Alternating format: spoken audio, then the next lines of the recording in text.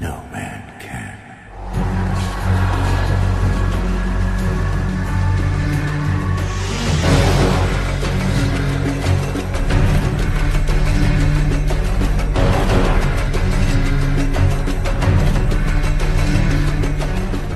Welcome back once again to Deja Review, where today I conclude my set of retrospective reviews on the Prince of Persia trilogy by discussing the final game in the series, The Two Thrones.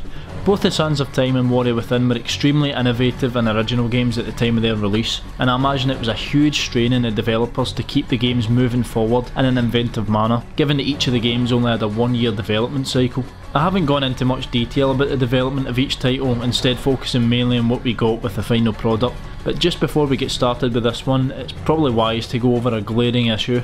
The Sands of Time was universally adored when it hit the shelves in 2003, but Warrior Within seemed to split the fans right down the middle. Some players appreciated the darker tone, gruesome visuals, and more complex tale of the narrative, but there's no denying that the jolting change of aesthetics unsettled many fans of the series. Ubisoft took a huge gamble with Warrior Within, and I'm certain that they intended to finish the series off with the same oppressive tone that loomed over that game, but about halfway through developing Two Thrones they seemed to change their mind. Early gameplay trailers and preview footage shows an entirely different beast from what we ended up with. It appeared to keep all the blood and gore from its predecessor, as it had the prince leap across the overcast city of Babylon, shredding his enemies to pieces once again, as well as burning himself in fire to change into his alter ego. Of course, much of the final game was extremely similar to those early previews, but it's clear that the developers toned down the violence dramatically, taking away the dark edge that Warrior Within owned, and instead hastily trying to force things back to the way they looked in the Sands of Time. They even changed the name of the game, as it was originally expected to be titled Kindred Blades, which is a damn shame because that's a great name.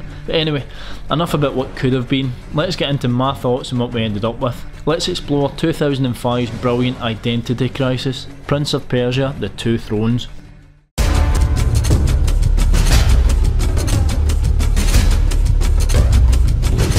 The Two Thrones promptly picks up a few weeks after the events of Warrior Within, well, the canon events anyway. The developers must have realised that most people would have missed out on the special ending of the last game, and so added in a handy wee retcon that changes their perceptions of what happened. I remember when I first played the game in fact and seen the opening, I, I had no idea what the hell was going on and kept wondering at myself why they'd changed the whole story. Silly bastard that I was. Anyway, here we start with the Dahaka finally defeated, the Prince and Kaileena return to Babylon only to find that it's in the midst of a devastating war. The Prince has obviously forgotten that all the events of the Sands of Time have now been wiped from existence, so the Maharaja never found the mystical hourglass on the Island of Time, and the Vizier is still very much alive and desperate to find a way to become immortal again.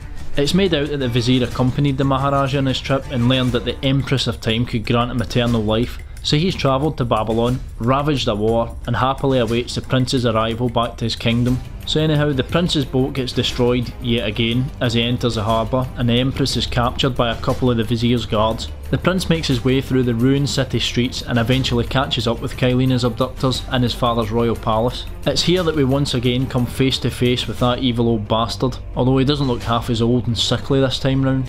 Quite a cool wee detail is that the vizier has never met our prince before because the timeline has been wiped, so he doesn't really think much of us, whereas the vizier is basically the prince's mortal enemy by this point. He doesn't stay mortal for much longer though, as he immediately kills the empress and releases the sands of time once more, infecting most of Babylon and his Scythian army. The vizier then goes on to stab himself with a dagger of time and transforms into...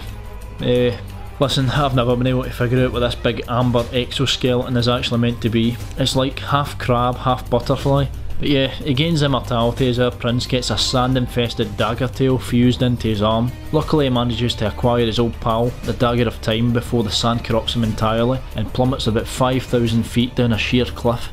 Much of the story from here on out consists of the prince making his way through all the different sections of Babylon to once again kill the vizier at the top of a tower. This time it has to be with the dagger itself as it's the only artifact that can abolish his immortality. As the prince journeys on, he soon realises that the infection from the sands have greatly affected his body and mind, creating an alter ego, appropriately called the Dark Prince. The Dark Prince constantly talks and taunts to the prince as he nears his goal.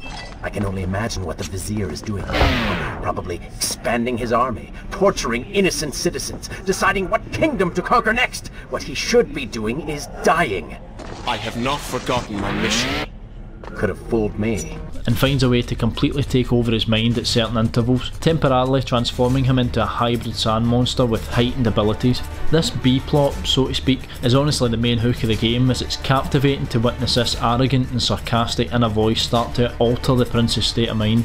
While advancing through Babylon, we encounter our old ally, Farah, who has no knowledge of the prince and initially seems quite concerned by the fact that we know her name and official title. Before long they team up again though as she begins to act as a voice of reason who pulls the prince away from the cruel grasp of his alter ego and reminds him that it's not just about ending the vizier's life, but helping all the suffering citizens of the kingdom. After a long journey through Babylon, the vizier finally makes an appearance out of thin air in the Hanging Gardens, capturing Farah and plunging the prince down into an ancient well. It's at this crucial point in the game that the Dark Prince almost permanently takes over, as the prince transforms mid-fall and cannot source out any water to help him return to his normal form. The takeover is just about complete when the prince stumbles upon his father's dead body, laying alone at the bottom of this well. It's totally unclear why King Shahraman was trapped down a pitch black vault. Either the vizier trapped him down here and slaughtered him, or he's just wandered in here, fell asleep and died. Either way, it's a key moment in the story as the prince eventually comes to accept his fate, refusing to battle against the consequences of his actions any longer,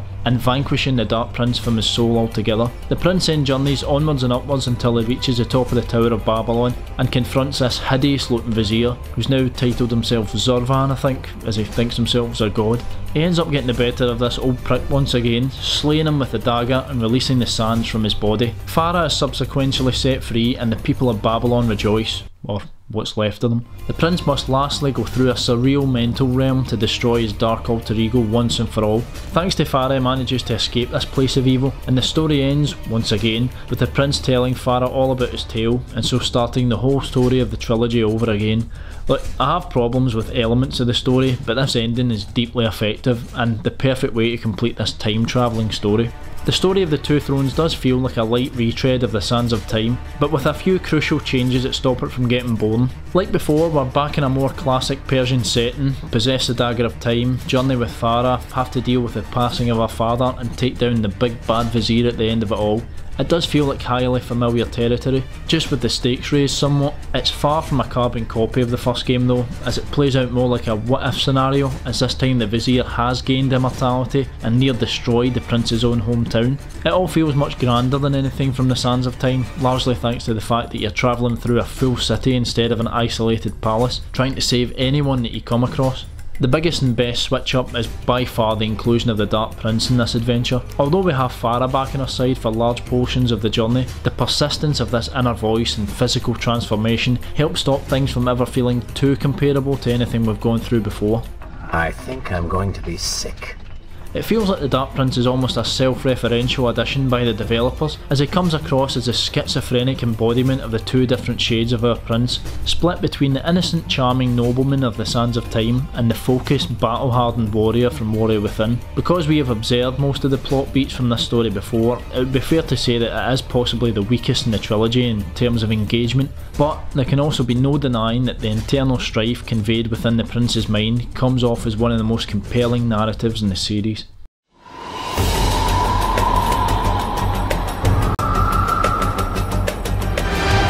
Yet again, The Two Thrones looks mostly spectacular on all platforms, especially given its age. The game has done away with the constant dark and dreary environments, instead replacing them with an array of more vibrant cityscapes and luscious gardens where the colours shine right off the screen. As I've mentioned before, it does tend to remind you of the Sands of Time more than Warrior Within, swaying back to the more dynamic colour palette and capturing the feeling of ancient Persia perfectly. Babylon was the obvious location to end the Prince's adventure and it truly looks apart throughout large portions of this game. The rooftops look unbelievably expansive, the city streets lay demolished and infested with evil monsters, and the palaces we enter are marvels in terms of architecture. It's obvious that the aim was to make this the most grandiose adventure of the lot, by giving the player the freedom of an entire ravaged city to explore, and it does the job successfully, for the most part. It is hard to deny that many sections of this game all seem to merge into each other thanks to the surroundings appearing a bit, well, bland at times. I'll go on to discuss the specifics about level design later, but for every area that catches your eye and lives long in the memory, there's one that just looks like a mundane street or corridor tucked away within a dingy city. Perhaps I'm being harsh here as these areas aren't exactly a dime a dozen, but they do tend to appear frequently enough that you're wishing the game would hurry up and get you to the next big spacious area that you can get platforming around. England. On my last playthrough there I noticed just how much of the first third of the game all blends into one another because most of the surroundings look pretty much identical. It doesn't help that there's a slightly murky golden hue over all the outdoor environments that doesn't have the same attractive allure as the Sands of Time.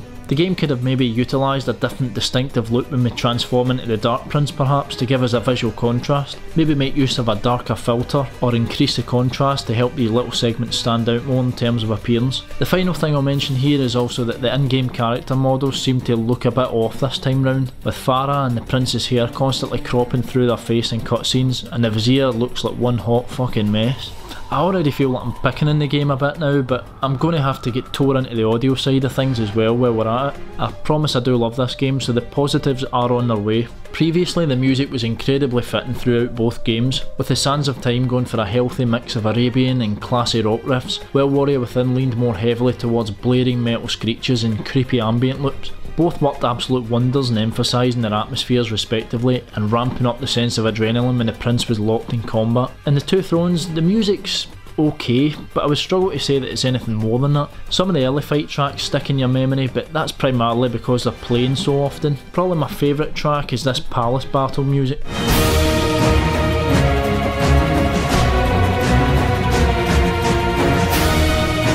That's actually the only outstanding song and a soundtrack that just doesn't stand out much at all, at least when comparing it to what the previous two titles had to offer. Effective ambient music does appear in certain more mysterious levels in the game like the sewers.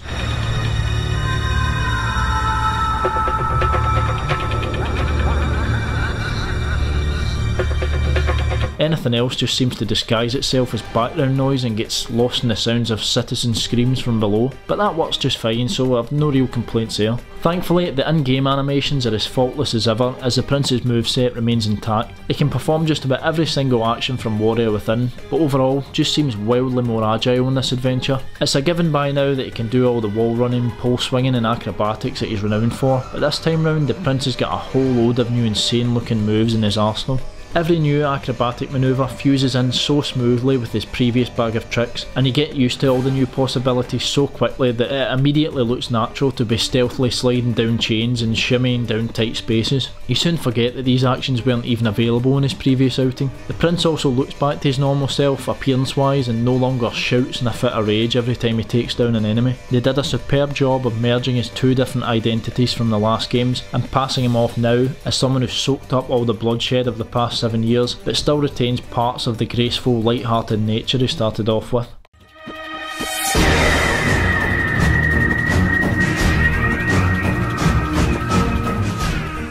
Just like last time, I'll split the gameplay into three separate categories as we see what's new with the combat, action platforming and puzzle solving and discuss whether the new additions were warranted. The core combat won't take all that long to discuss anyway because it's damn near identical to what we had in Warrior Within and I'm just fine with that. The freeform fighting system was a bloody glorious way of taking down your enemies, and it's only right that it made its return here. Only problem is, it doesn't feel as satisfying in this game as it did before for a couple of important reasons. First of all, the developers must have realised that if they toned down the dark aesthetic they originally had planned for the game, then it was only wise to tone down the notoriously violent combat system as well. I can easily understand the reasoning behind this, but it just sucks a great deal of fun out of slaughtering enemies in the coolest way possible. A couple of the most brutal combat moves such as choking and slicing enemies in half have been removed altogether and the other finishers just don't pack the same punch anymore either. The creatures no longer scream in pain, heads no longer fly off and blood doesn't spew out of them when they're taken down. I get that this all seems like relatively trivial stuff as an impressive combat system still remains but trust me, it makes a big difference. The second reason is simply because the sand creatures you face off against are much trickier to defeat. The monsters in Island of Time regularly proved a challenge but they always gave you ample room to start off a combo and take a handful of them out at once. You'd be the luckiest person alive if you can get a chance to do that in the Two Thrones. Your adversaries are constantly blocking all of your combos and seem much more aggressive in their fighting style.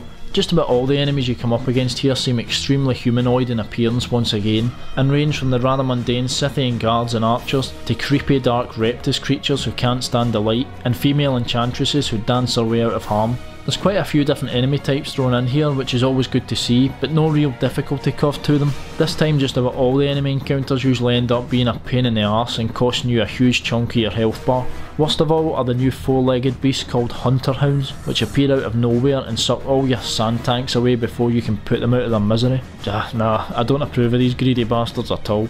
Luckily, the combat isn't just as straightforward as some harder enemy types and a toned down freeform system. The game's saving grace once again is the Dark Prince and his legendary dagger tail weapon. I'm not going to lie, most of the combos with the Dark Prince slowly transform into some form of button mashing to see what sticks, but just about everything does stick. Enemies don't have a hope in hell of avoiding this weapon as it's far more effective than the Dagger of Time. The Prince will swing and whip the weapon in just about every direction, pull enemies towards him, circle it above his head to buy him time, and stealthily strangle his victims to death. It feels endlessly more powerful wielding this unique weapon, but the good thing is, if you're not a fan of this more visceral fighting style, you can still utilise the Dagger of Time as a primary weapon.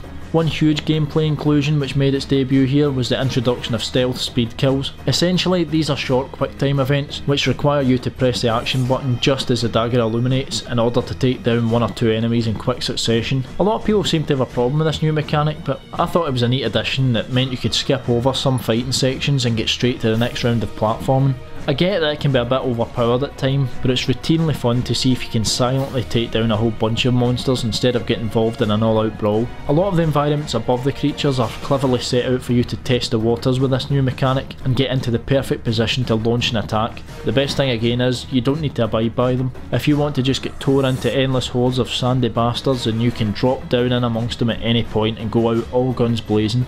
I do this myself from time to time, but ultimately I do find speed kills to be a handy tool to have at your disposal. Okay, so onto the action platforming now, and I'll just get stuck into all the new environmental additions we have here, because there certainly are a fair share of them. The platforming mechanics themselves are honestly still bloody outstanding, even three games in, or heck, even in 2020, nothing at all feels dated about the boundless control we have over the Prince. He still has his vast bundle of moves that we've gotten so used to over the past couple of outings, as well as his crucial sand powers, but this time round, they really went all out in trying to maximise the Prince's agile skills by introducing many new elements of the environment that the prince and his alter ego can interact with. We now have dagger grates, diagonal rebounds, dagger switches, mountable chains, close walls and vertical poles to chain across. I'm sure I've probably missed something else there that was introduced, but as you can tell, even by those that I've managed to recall, there's quite a lot of new stuff here to help you traverse each locale. Honestly, I love every one of these new additions, bar the dagger grate, which I think is simply overused throughout the entirety of the game. The diagonal rebound is my favourite as it looks so effortlessly cool, springboarding from one ledge to another in a split second, and even bouncing right across rooms on brief occasions. Not quite sure that the physics of these devices hold up very well, but they keep the pace of the gameplay up in no end.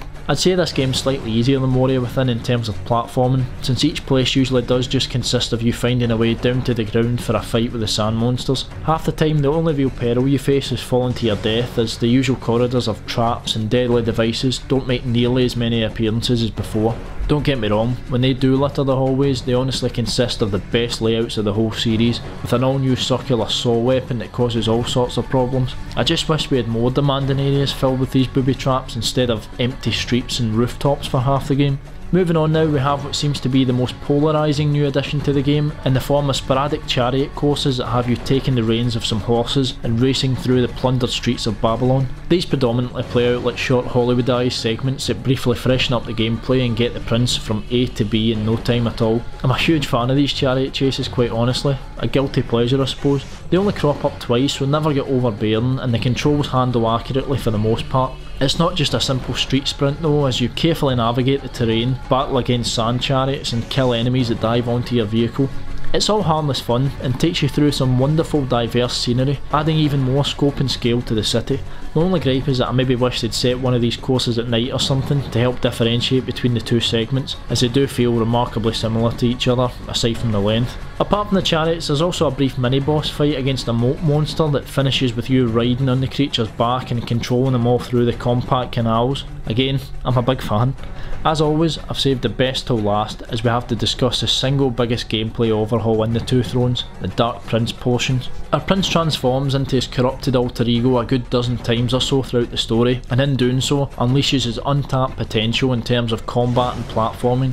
I've already spoken about the plethora of great new moves that the Dark Prince can perform with the Dagger Tail while he's amidst a group of sand creatures, but this embedded weapon also increases the Prince's reaching range dramatically when platforming.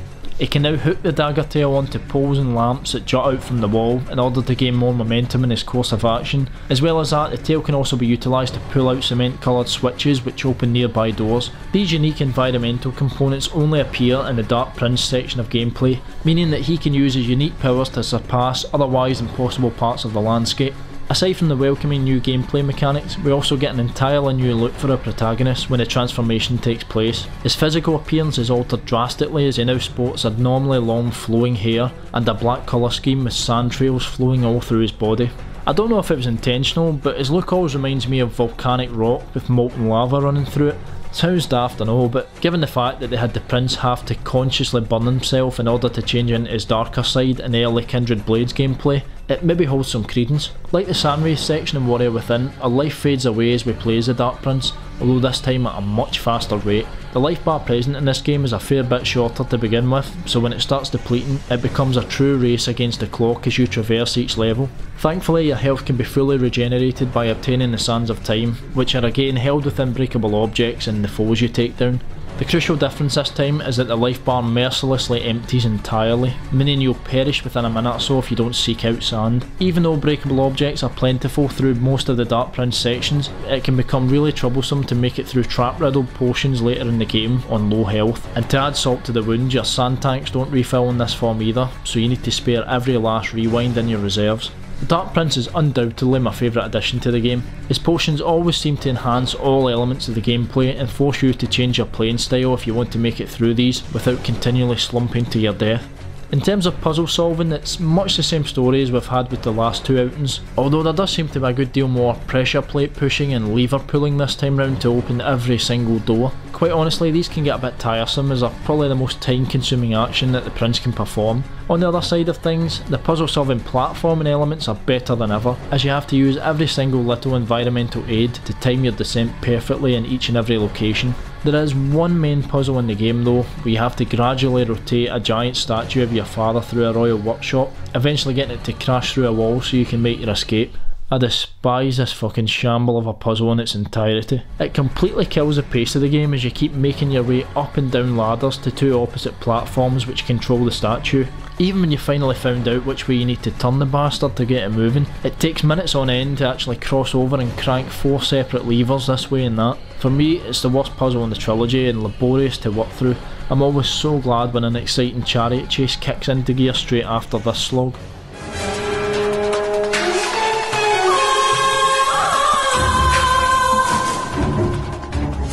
Truthfully, the level design in this game is a right mixed bag. Some areas feature platforming designs that are just off the charts in terms of enjoyment, but others have you just traipsing through cramped and rather lifeless sections of the city.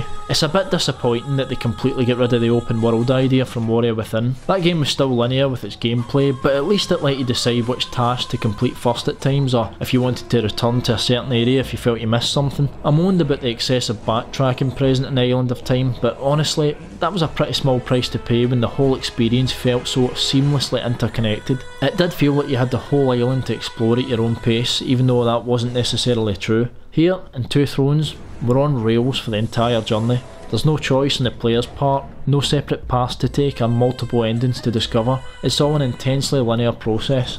Don't get me wrong, Sands of Time was the same in this regard, but I think after we get the taste for some non-linear levels in the Island of Time, it just seemed a bit cheap to throw all that out the window and return to a complete beeline design.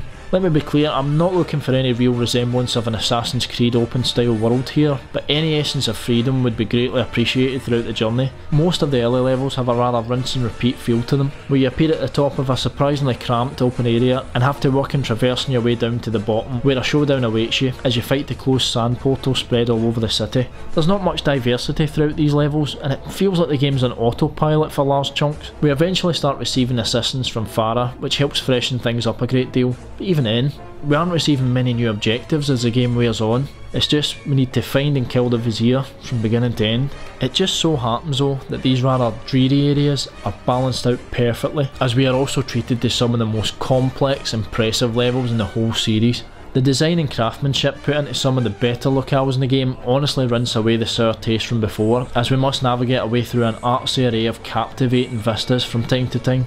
Like always, I'll go over a few of my favourite levels in the game, and actually, this time round there was too many to choose from, so I just picked out a few that possess the most uniqueness and switched up the gameplay the most efficiently. Early in the game we fall into the sewers and come to realise exactly what the Sands of Time have done to us. This creepy network of slippery walkways and marvellous platforming resources is the perfect place for the Dark Prince to come out and play. Being sandwiched in amongst many hours of meandering through streets and palaces also helps this sinister, eerie environment to stand out. Another great area that separates long city roaming segments is the brothel. This is a phenomenal change of pace as we gallivant through this alluring architecture that brings back pleasant memories of the bathhouses from Sands of Time this portion of the game looks wildly different from any others and concludes with one of the neatest looking trap ridden corridors of them all.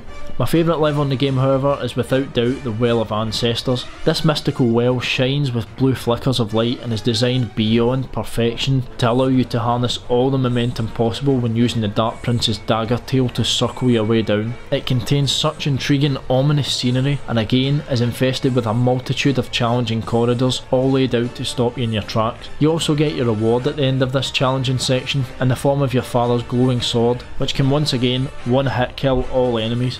I've just noticed that the three specific levels I happen to have picked out all include lengthy Dark Prince gameplay. They really did just elevate certain parts of the Two Thrones to another level. One quick thing I've noted that's an extreme disappointment is the severe lack of secrets to be discovered throughout the city. There's 6 life upgrades and a few measly chests containing sand tokens for artwork, and that's it. There's very little to go hunting for off the beaten track in this adventure, and the life upgrades we do come across are irregular to say the least. No longer do we have to shatter cracked walls or venture through long hidden passages overrun with traps. Instead we just advance through ambiguous side routes and come across a rather ugly looking magic drinking fountain. Then we have to go through a random test of sorts to get the upgrade itself and then backtrack the way we came. It just feels odd and I wish they'd have kept the setup from Warrior Within because that made much more sense in this. To conclude this review, let's go over the boss fights, and which there are four of yet again. I know myself, I've probably given this game a great deal of unexpected flack for the last half hour, but we'll end on a true high note as the boss battles in the Two Thrones are unarguably the greatest of the trilogy, by far.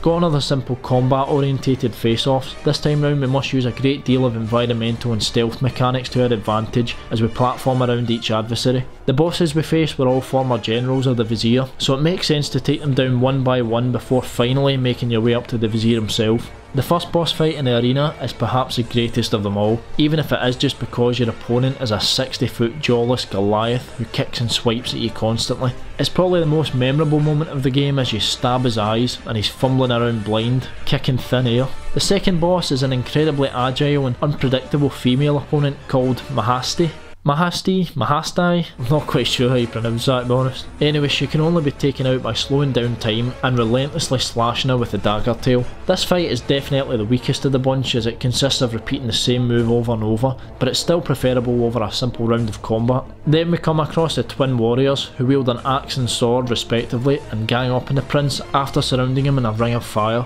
This is arguably the hardest battle of the trilogy as the only possible way to defeat them is by focusing solely on the sword wielding twin until the other cleaves his axe into the ground, leaving him open to an attack. Eventually you'll get the chance to speed kill them, but if you finish the chariot section beforehand with no sand tanks remaining, then it's going to be one hell of a challenge for you.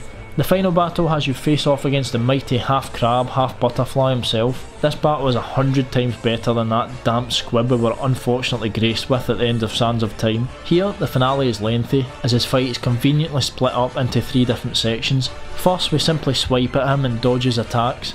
Then we have to avoid circling rocks while attempting to launch a stealth kill on the ever moving Vizier. And finally we have to platform up and across the cleverly arranged massive rubble before plunging the dagger of time into his evil bastard heart. Each boss fight here truly stands out and unexpectedly turn out to be a few of the real highlights within this adventure. Who'd have thought that when two games ago they were hardly even worth mentioning?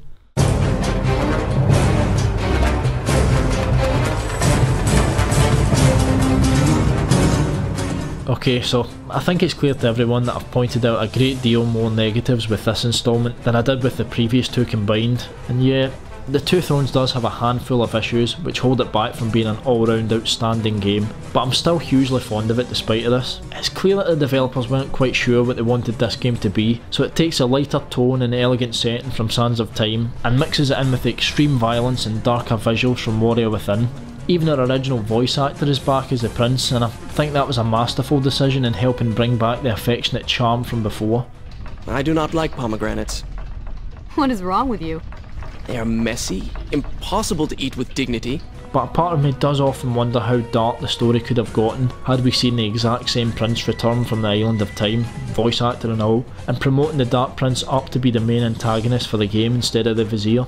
After all, I can't help thinking this is what they originally had in mind, given the shadowy teaser of him at the end of Warrior Within. Anyway, all that aside, this is still a legitimately thrilling final chapter to this epic trilogy, and every instalment stands the test of time admirably. I would say that the Two Thrones is my least favourite out of the three, but it's still a great experience that I return to often and would wholeheartedly recommend to any gamers out there. It's maybe not the conclusion we expected, but it's a commendable closure to the series no doubt, and sporadically does offer up the very best from both our previous adventures. Thank you very much for watching this review, especially if you sat through the full thing or watched any of the previous two videos as well. It's been great fun making the three of these. Don't forget to please like and share the video if you enjoyed what you've seen, and subscribe to the channel for loads more reviews on the way in the near future. Thanks again.